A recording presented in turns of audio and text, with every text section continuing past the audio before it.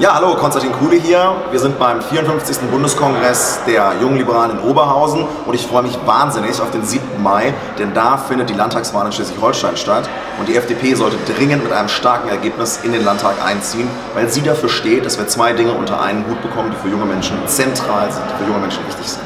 Und das ist eine generationengerechte Haushaltspolitik. Wir brauchen weniger Verschuldung und wir brauchen eine Priorität für Bildung.